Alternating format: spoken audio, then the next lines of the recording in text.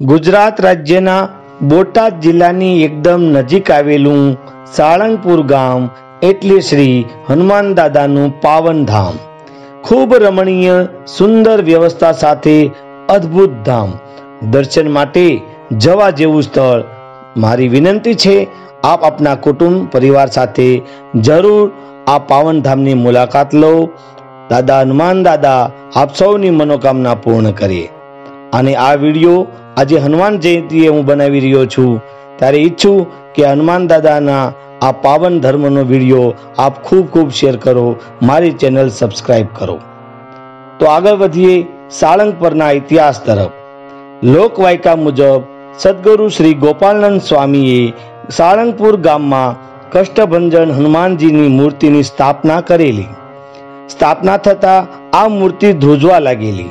ત્યારે ગોપાલનંદ સ્વામીએ કાષ્ઠની લાકડી વડે મૂર્તિને સ્થિર કરેલ આવી લોકવાયકા પ્રચલિત છે. દોસ્તો, તમે જ્યારે હનુમાન જયંતિ નિમિત્તે જશો, આજે તો હું ત્યાં જ છું.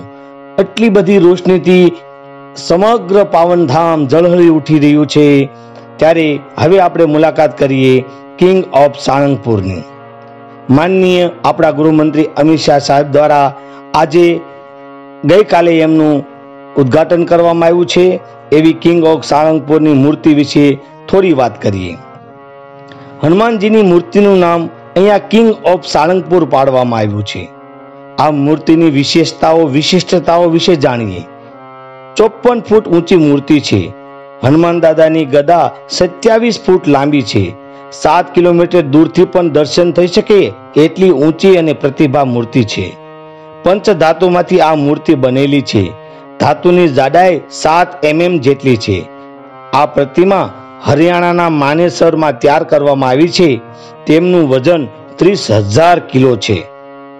તે લગભગ પાંચ હજાર વર્ષ સુધી ભૂકંપ સામે પણ ઊભા રહેવાની ક્ષમતા ધરાવે તેવી મૂર્તિ છે.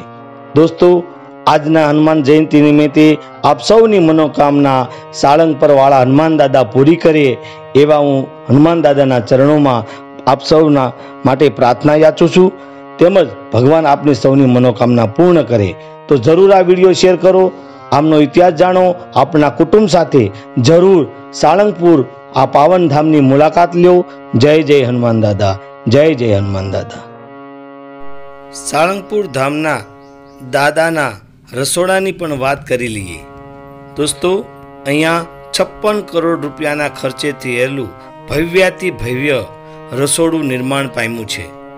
એક કલાકની અંદર વીસ હજાર લોકોને જમાડી શકાય તેવું ભવ્ય રસોડું આ પાવનધામમાં ઉપલબ્ધ છે. તમે વિડીયોમાં જુઓ છો કે સમગ્ર સાળંગપુર રોશનીથી ઝળહળી ઉઠ્યું છે.